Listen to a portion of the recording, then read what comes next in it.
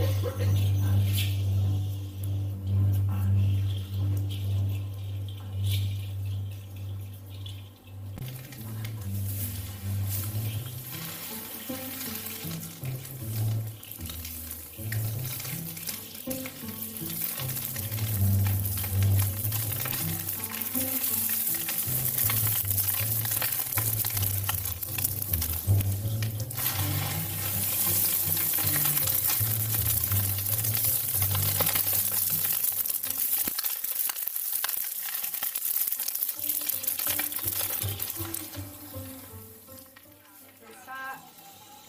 Instalação feita no Sesc Avenida Paulista de uma, um tipo de ciclo de oficinas que existiam desde 2019 nas unidades do Sesc, graças aos programadores que reconhecem que há a necessidade da presença e da representação de todos os povos, de uma diversidade nesse circuito artístico.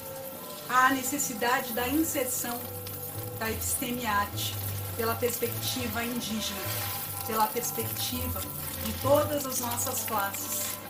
E eu me refiro às classes C, D e E